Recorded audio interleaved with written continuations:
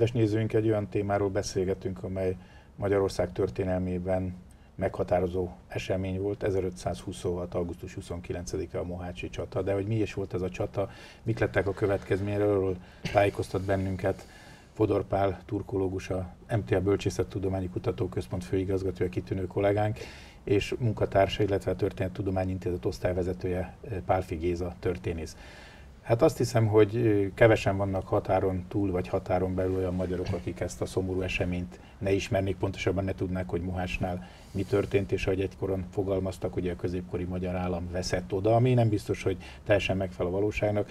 De hogy is nézett ki az a mohácsi ütközet? Most nem arra lennék kíváncsi, hogy hol állították fel az ágyukat, és hogy janicsárok mikor és merre mentek, hanem egyáltalán hogy érkeztek ide az oszmán török csapatok, ami nyilván egy sajátos nemzetiségi összetételű haderőt is jelentett, és mit volt képes az ak- akkori magyar királyság velük szemben fölállítani vagy kiállítani? Hát akkor kezdjük az oszmánokkal, de mielőtt az oszmán hadsereg ismertetésébe kezdenék, hadd tegyek egy megjegyzést, hogy 1526. március, augusztus 29-ét a Mohácsi csatát azt magyarok határon innen határon túl jól ismernék.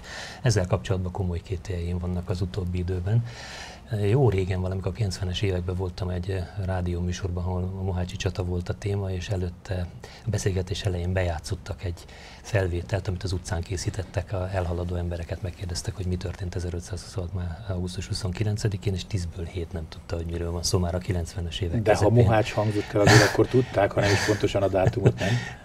Azt nem, erre most nem emlékszem, hogy hogy volt föltéve a kérdés, de emlékszem, hogy alig tudtam megszólalni a műsorban, annyira meg voltam döbbenve, én nem gondoltam, hogy ilyen rosszul állunk. Tehát már csak ez is mutatja, hogy kell róla beszélni. Török hadseregről. Török hadsereg ebben az évben viszonylag korán, 1526. április végén indult el Isztambulból, és ez a korban egy óriási kimondhatatlanul nagy hadsereg volt, harci alakulatainak száma 60-70 ezeret közelítette, és a kiegészítő személyzettel kocsikkal, lovakkal mm, és azokhoz szükséges személyzettel lehet, hogy megközelítette százezret. Ezt a hadsereget elhozni csak Isztambultól a dél-magyarországi területekig valami emberfeletti feladat volt, és tulajdonképpen a korabeli oszmán hadsereg jelentőségét, tehát páratlanságát, legyőzhetetlenségét éppen ez a tény biztosította, hogy ezer kilométerre el tudták hozni intakt állapotba, úgyhogy nem éhezett senki, és legfeljebb élelemhiány csak hazafelé lépett föl. Erre a teljesítményre ekkori Európában senki nem volt képes, és tulajdonképpen már ez az egy tény eldöntötte, hogy ki lesz a sikeres egy ilyen csatában. Hadd had vessek közben egy kérdést, ami bennem itt hirtelen fölmerült. Ez nyilván, hogy fogalmaztak, nem tudom, hogy akkor így fogalmaztak, de később időszakban, hogy a helyi beszerzésre alapoztak nem, az élelmiszerni, vagy hoztak magukkal. Ez nem, nagyon lényeges Ez kérdés. volt a lényeges, és akkor, bocsánat, még hozzátartozik, hogy ennek a hadseregnek egy jelentős része nem Isztambulból jött, hanem a birodalom ázsiai feléből. Tehát itt, egy, itt egy hadsereg, mikor készült, a, tehát a hadvezetés, amikor készült egy háborúra, akkor az előző év november-decemberében elkezdte a fölkészülést, az élelem összehordását, ellátó bázisok, menzilek, állomások hálózata volt a birodalomban, az út mellett fölhordták az élelmet, és az arra előadó hadsereg abból kapta az ellátását. Persze magukkal is mindig vittek élelmet, és ugyanez volt az a, a lőszerrel és egyéb hadnakozáshoz szükséges eszközzel is, és a hadsereg fölvonulása már kora tavasszal megkezdődött, tehát a törökök már javában útban voltak, amikor az európai hadseregek, beleértve sajnos a magyar hadsereget is, még csak éppen készülődött. Itt Európában is a magyar királyság e tekintetben nem volt kivétel.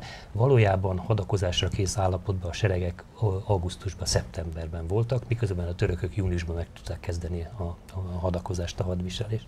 Ez volt a török hadsereg páratlan előnye, és amikor a magyar hadvezetés sajnos ebben a tragikus évben 1500 1526-ban megtette az első lépéseket, hogy össze toborozza a hadsereget, hogy mindenkit hadba szólítson, hogy elkezdjék az élelmet, kocsikat, állatokat gyűjteni. A törökök már javában ostromolták a dél-magyarországi várakat. Mennyi időre volt szükség ahhoz, hogy mondjuk én is fogalmaznék, hogy ezt a magyar hadsereget vagy a magyar haderőt ezt a kifejezést aztán mozgósítani lehessen? Tehát mennyi idő kellett, hogy elteljen, amíg föl tudtak igazán készülni? A magyar hadvezetés tekintetében is páratlan jelentőségű eseményről van szó Mohács kapcsán, hiszen annak ellenére, hogy a magyar hadakat, és rögtön tegyük hozzá lengyel, cseh és német hadakat, hiszen itt egy közép-európai nemzetközi haderőről van szó, összehívják sokkal ö, hosszabb időre volt szükség, de ez a birodalom, a magyar birodalom, illetve az oszmán birodalom más struktúrájával volt magyarázható. Itt egy jól centralizált, állandóan a hadban álló birodalomról volt szó a törökök esetében,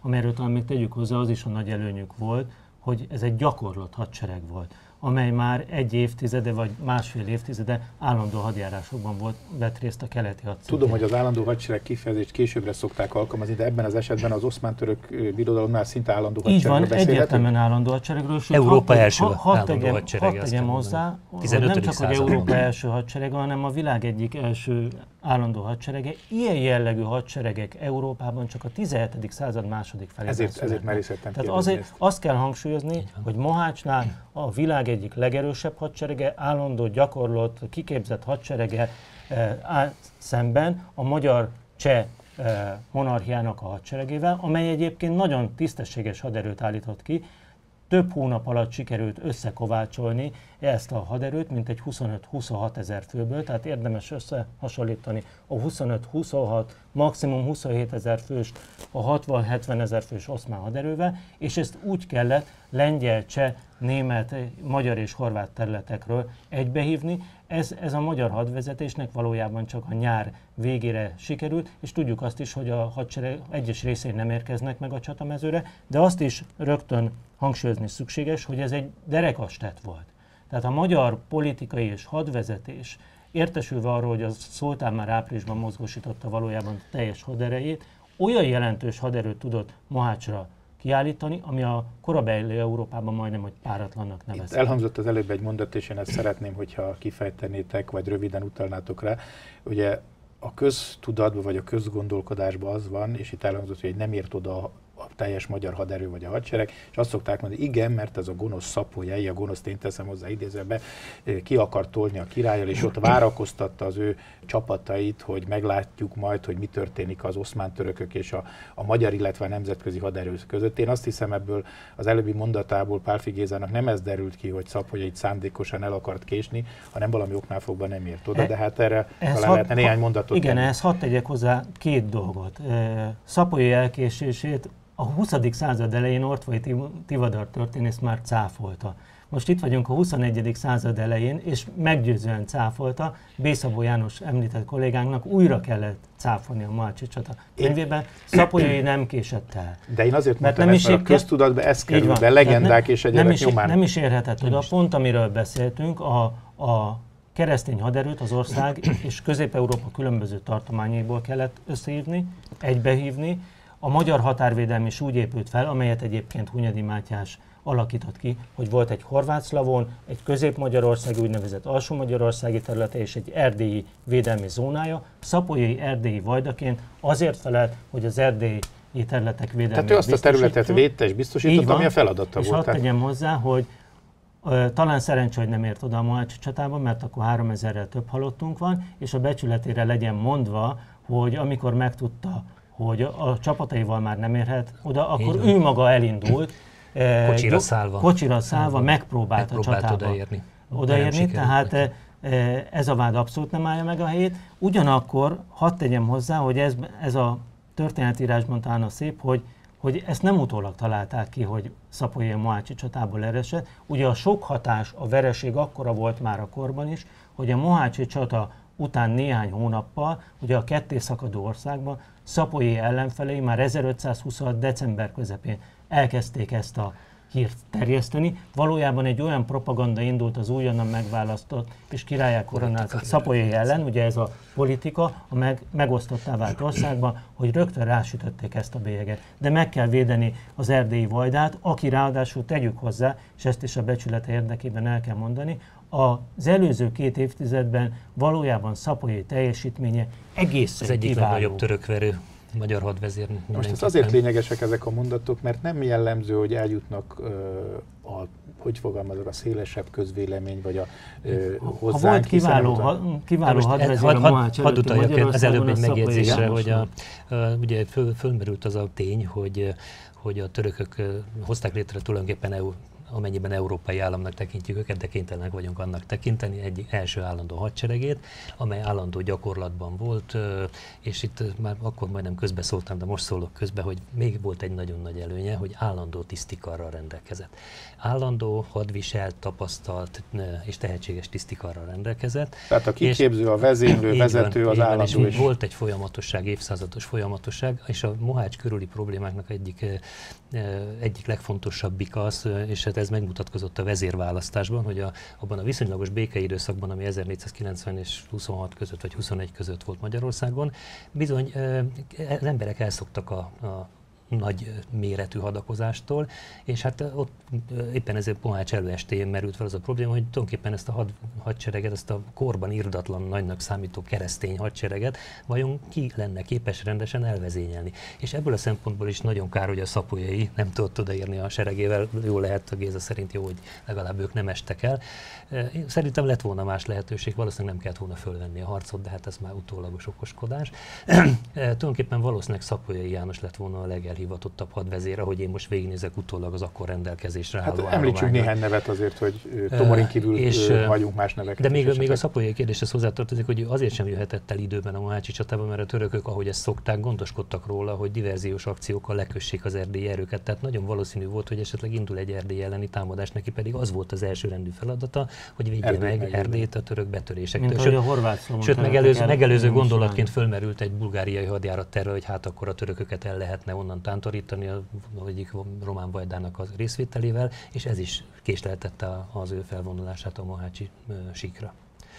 És akkor itt ugye említettünk, mert Mohácsnál tartunk, vagy az előestnél, összegyűlik ez a 25-27 ezer főre tett létszámú magyar haderő, és itt elhangzott ugye Fodor pár részéről, hogy vezért kell választani. Kik jöhettek számításba, vagy kik jöhettek szóba? Mert ugye itt kiderült, hogy az oszmán törököknél gyakorlott tisztikar hát van. Az oszmánoknál nem volt kérdés, ott a nagy vezér volt Igen. a hadsereg. Mert ez volt a főfoglalkozás. A, a utána jövő divánülő pasák pedig a megfelelő feladatokat, és a rumiliai sereget a rumiliai Beglerbég, az anatóliai pedig az anatóliai Beglerbég irányította.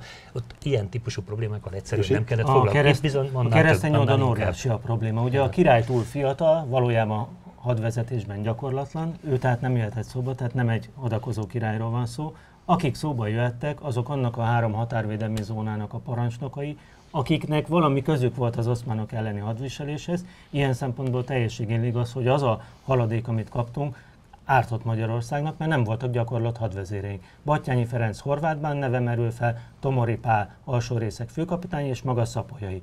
De az oszmánok valóban jól folytatták azt a stratégiát, hogy mindhárom terület irányában diverziót folytattak, és ezért sem a horvátbán, sem az erdély nem jöhetett maradt szóba. Tomori. Igazándiból maradt Tomori, még a Nádor lehetett volna, de a Nádor sem volt gyakorlott katona, egy kiváló volt. politikus volt, meg már részben öreg is volt és beteges volt. Valójában még azt lehetett volna, hogy egy német vagy cseh zsoldost választanak hadvezéré. Ez a korabeli magyar királyságban, ahol a magyar politikai elit meghatározó szerepet játszott az ország irányításában, nem volt elképzelhető. Így valójában Tomori nem egy tudom. kényszerválasztás volt, akinek azért voltak tapasztalatai, de azért Tomorit nem lehetett összemérni a nagyvezérrel, mert ő valójában egy főpap, akinek bizonyos katonai tapasztalatai vannak, tehát nagyon nehéz volt Lajos döntése akkor, amikor el kellett határoznia, hogy kit is tesz a magyar hadsereg élére. Itt az előbb ö, fölmerült szintén egy ö, gondolata, nevezetesen az, hogy lehet, hogy jobban jártunk volna, bocsánat a többes számét, hiszen mi nem voltunk ott,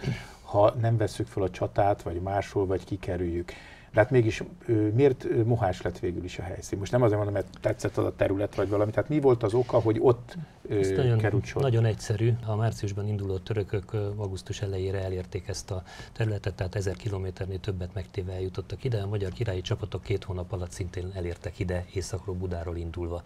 A sík kiválasztása mellett két alapvető tényező szólt. Egyrészt kell egy hely, a, a, viszonylag tágas hely ahhoz, hogy egy csatát meg lehessen vívni. A második, és talán még fontosabb, hogy a Tolna volt a hagyományosan ugye egy gyülekezőhely, és táborozási hely, és a csapatokat, ekkora csapatokat élelmezni a korban, ahogy ezt már jeleztük, borzasztó nagy feladat volt, és ezt itt lehetett megoldani egyszerűen.